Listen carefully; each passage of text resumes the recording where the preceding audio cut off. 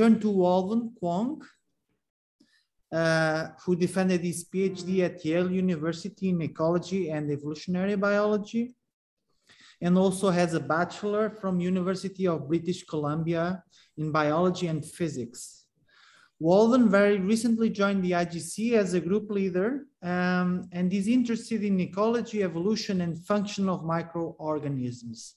How have they become so diverse and successful? What makes them form complex communities in between each other and the eukaryotes? And how can we benefit from their tremendous evolutionary innovations?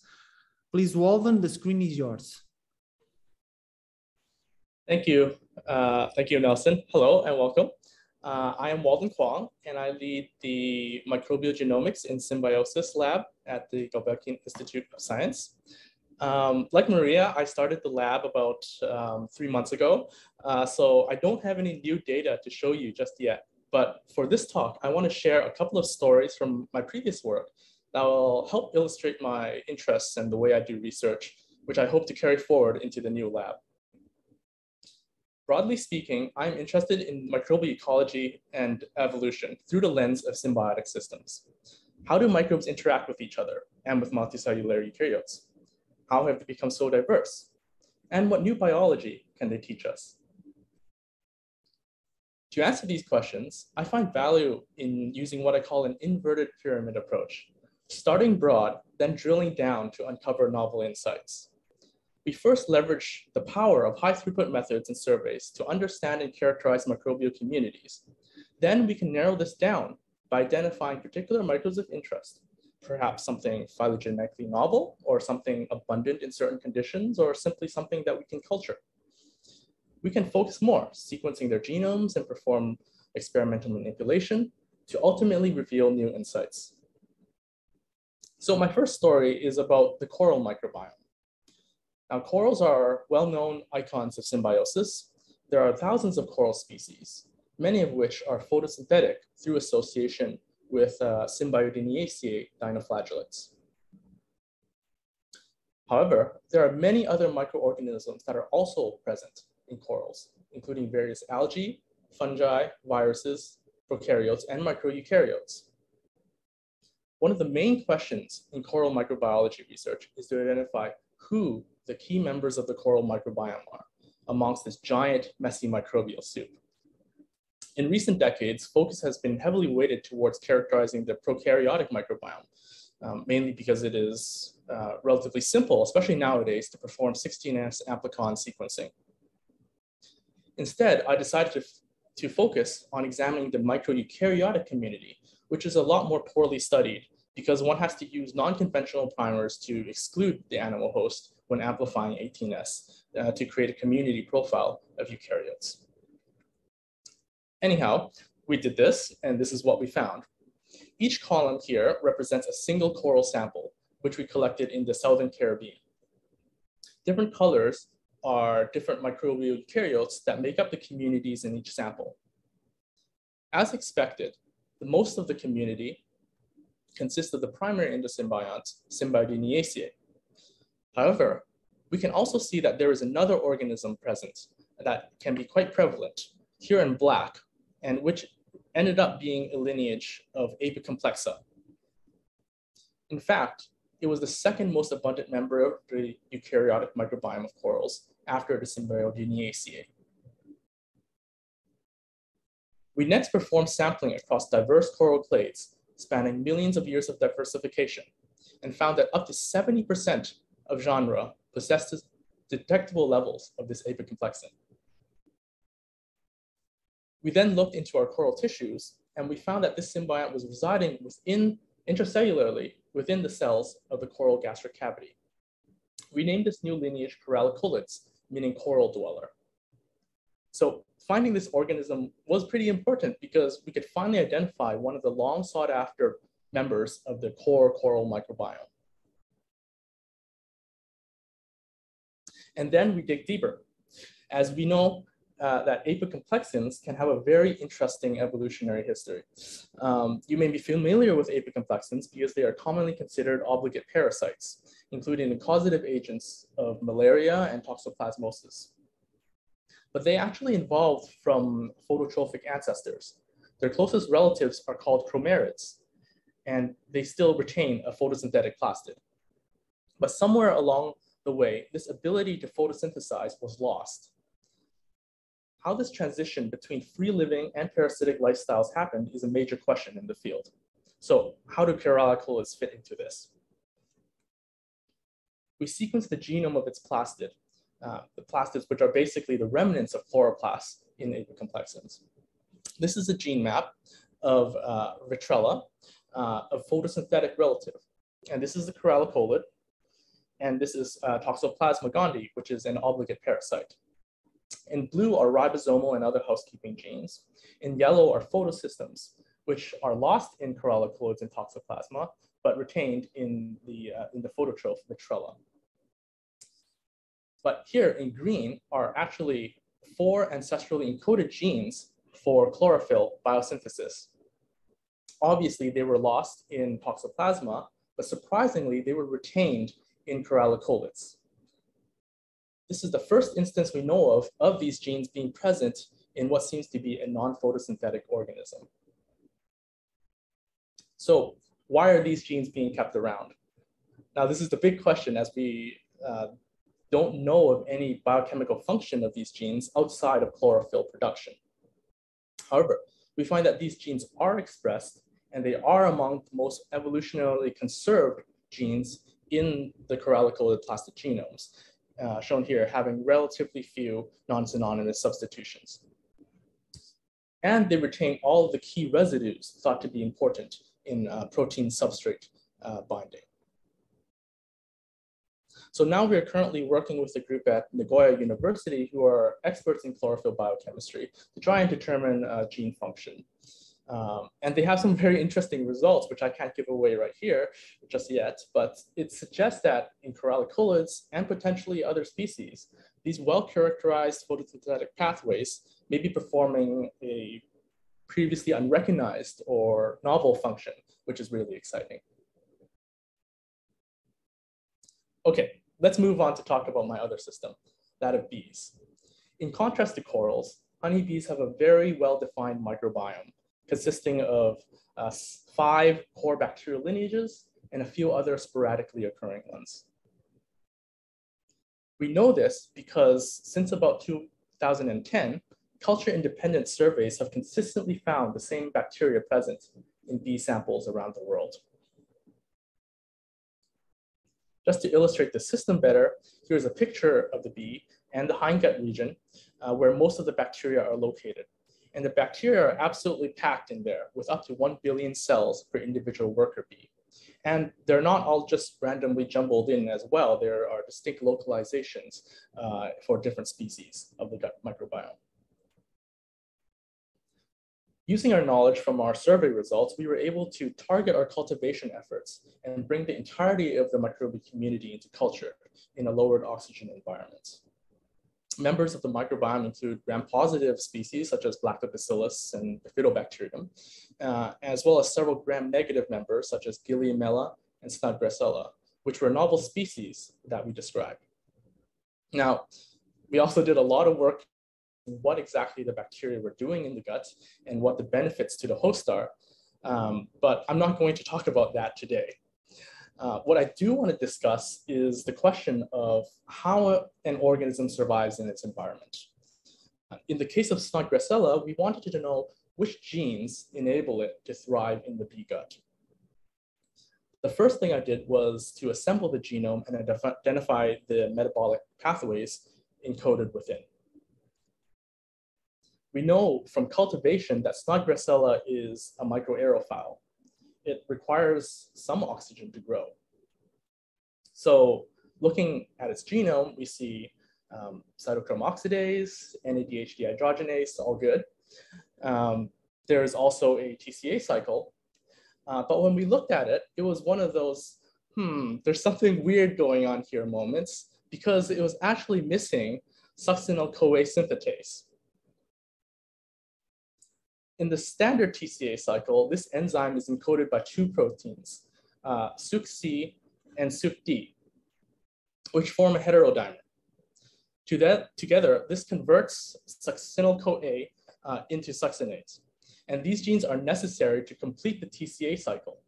Uh, strains with knockouts of these genes will not be able to grow normally, um, instead having to rely on glycolysis and fermentation. So the lack of this key enzyme is highly suspicious in an aerobic organism and strongly hinted at the existence of an unusual metabolism. Around this time, we were also conducting transposon insertion sequencing of Snodgrassella to determine the genes involved in gut colonization.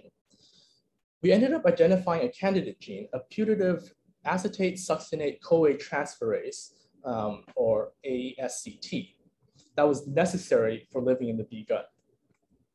In fact, mutants in this gene had a 30-fold reduction in fitness in vivo. So this gene could potentially replace SUC-CD by transferring CoA to acetate instead of producing ATP. We did a literature search and found that homologs of this gene had previously been found in bacteria used in vinegar production, where it was also suggested to play a role in the TCA cycle. So this indicated that this unusual TCA cycle may actually be widespread. And we did a bioinformatics search of all bacterial genomes at the time and found that 20% had hits to this gene. These represent species from at least three different phyla, including several prominent human commensals such as Coenella and Neisseria, as well as opportunistic pathogens, Moraxella, Corynebacterium, and Acinetobacter.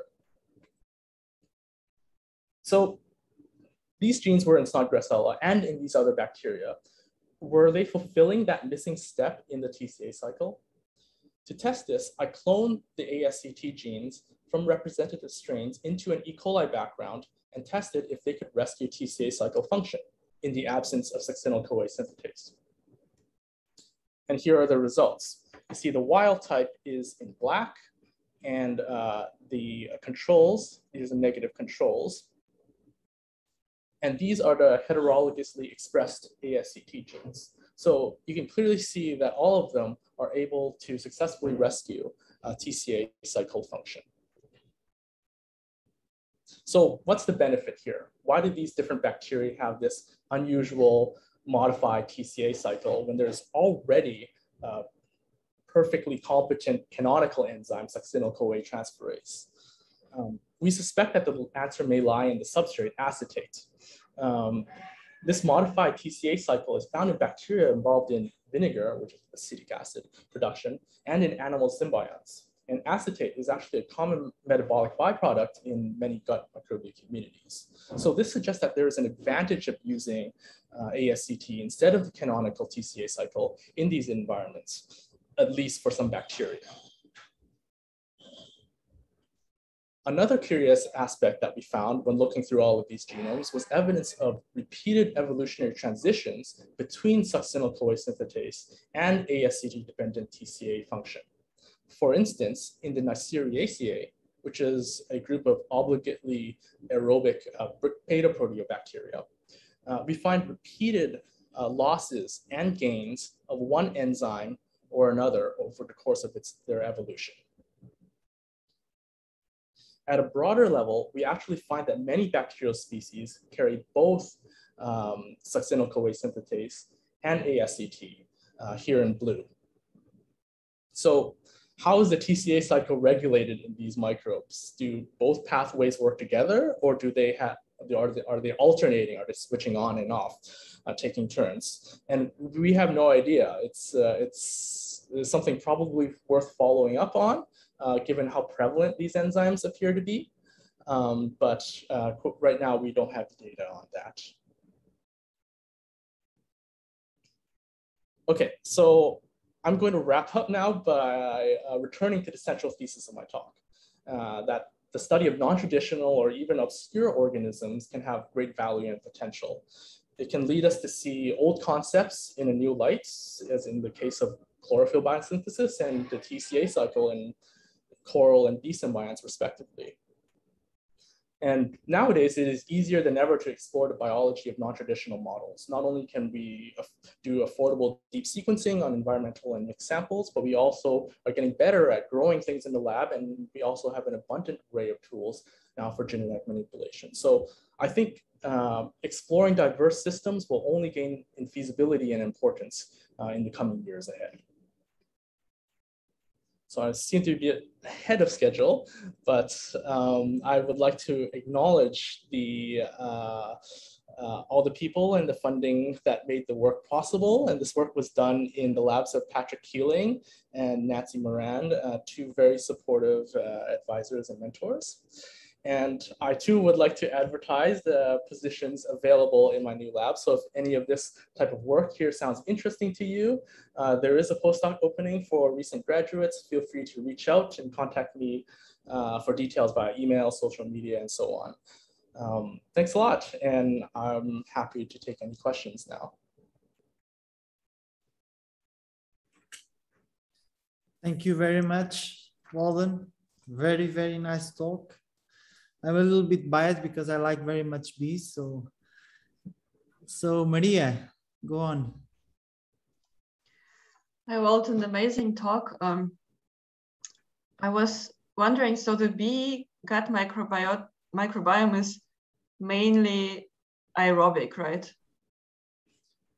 Um, well, there there is one species that is um, it's that's strictly it needs it needs oxygen, but a lot of species are actually uh, facultative. Um, so yeah. And, uh, yes. yeah, I'm, I'm I'm asking because like the, the TCA cycle is also something that I'm I'm very interested in, and it's it's amazing that um, you know the story about uh, um, this um, acetate dependent enzyme because um, mm-hmm. at least um, I, I, looked at the Bacteroidetes before, uh, and mm-hmm. they seem to run the TCA cycle like the two branches, um, right. Uh, reductive and um, oxidative, like not as a cycle but as a branches. And yeah. um, you had them as well, right, in your tree that they also yes. have this enzyme. Yes. Yes, um, yes, yes. I, I did look into uh, the the homologing Bacteroidetes, and yeah. It, it so, so I'm wondering if you way. know if yeah. this enzyme can actually catalyze the reaction in both directions, or it goes only from um, succinate to succinyl CoA and not the other no, way. No, no, it, it can go in both directions. Yes, yes. Okay. I should probably look more into that enzyme. Yes. Thanks a lot. Yeah. Okay, Camille. Hi, um, I have a question about the chlorophylla in the microbiota of the uh, corals. Mm-hmm. Um, so some, uh, so so they they use uh, algae to to do the photosynthesis, right? The the mm-hmm. corals. Mm-hmm. Yes. Could it be also the same that this function is is present in some bacteria because some some snails do photosynthesis for example could that be the case and mm-hmm. if if not do you have a, an hypothesis about um, the function of the chlorophylla in these bacteria? yeah yes that that's that's the big question that we don't know so in in our apicomplexan um, this um, in this symbionts they don't have photosystems right so it, it it's not doing photosynthesis and they're actually they're not green if you look at so actually uh, let's see. Here's a, here's actually a video of oops is this gonna play? Oh no I can't get it to play. Okay well oh here we go. Here we go. So this is actually a video of the org of, of our, our, our, organism and you, can see it's not good green. Here's here are uh, the symbiodiniaceae cells which which are the the primary uh, endosymbiont, and it's a photosynthesizer. But this one, it has the genes for chlorophyll biosynthesis, but it ha doesn't have um, the genes for uh, the photosystems. So it's, it's probably not photosynthetic. And again, we don't know exactly what, what its function is. Yeah. Okay, Karina. Um, hi, Waldan. Uh, in, um, about your E. coli experiment where you um, added the, you wanted to test the complementation of the acetate succinate cotransferase. Um, so did you did you also add acetate or it's just the acetate produced by the by E. coli would be I, I don't I was wondering like we what was the basically the carbon source and the and about the growth conditions that you were using for E. coli and basically the reason I'm asking was if you could use this experiment to try to understand in terms of um, energy if there was a loss uh, uh, mm -hmm. have this enzyme instead of, of the usual uh, succinyl uh, CoA synthase because yeah. you an ATP, right? Or mm -hmm. Mm -hmm. yeah, yeah. There, there's a there's a lot of room for for doing uh, more in vitro experiments to, to work out the energetics, and uh, we we did use acetate, so uh, uh exogenous acetate um, uh, in, in, in, the medium, and that's how we did, did the did the growth curves. Yes. So maybe there's there's only um, advantage of using like if you had two if you had the the two pathways, for example, would mm-hmm. there be maybe only advantage to use this this uh, route if you had a so fast state? Yes, yeah, it, it could be, and if somebody did uh, say uh, maybe some transcriptomic work on bacteria that have both enzymes and see how maybe they could you know see you know regulation of it in, in different uh, growth conditions and, and that's that's a possibility yeah. But you didn't see any growth defect of having um, in E. coli uh, with when you complemented this uh, no no they, they, they grew at the same as wild type yeah. Mm -hmm. thank you Okay. Is there any other question for Waldan? Because we still have 10 minutes. No questions? I, I have a very naive question, Waldan. It's regarding to the bee system. So you keep the, the bees, the bee colonies outside, right? In nature. Yes. So, yes. so how are you going to deal with these uh, pests that affect these colonies? I mean, in Portugal, mm-hmm. most of the bee colonies go down. I mean, I know this. Yes. My my father yes. is a beekeeper. My grandfather yeah. is a beekeeper. How are you going yeah. to do this? It's very it's very simple, but uh, I mean, yeah yeah yeah. It, it, it's it's uh, it will be a challenge. Uh, I, I have not raised bees in portugal before. And especially here you have the uh, the, the, the, asian wasp uh, which is uh, it's it's becoming a big problem. Um, so um, we are working with uh, the um, the, the local out the agricultural INAV, the agricultural research station and the um, some of the beekeeping associations here, and we'll try to uh, depend on their experience to, yeah. to, to work out the best ways to, to protect our hives. Yes. I, I, I'm, I'm asking this because I think this could be an opportunity. I don't know. This, you, mm-hmm. could, you could check if certain kinds of microbiota could give more resistance to any of these uh, pests. I mean, I'm not talk, talking only about the Asian uh, mm-hmm or I'm talking about, for example, varroa, the, the, the mite that affects them and so on and so forth. But anyway. Mm-hmm. Yeah, yeah, definitely, definitely. Um, actually, one of the experiments that we have planned is to look at the uh, uh, uh, the bee transcriptomic responses to the presence of, of different uh, uh, pathogens and, and, and, and uh, chemicals and, and, and insults, basically, in environmental, and what the potential benefit or protective role of the microbiota could be in that. So yes, that's something that's that we would be looking forward to, to testing in the future. That's awesome. So any other questions? Okay. Waldan, thank you very much.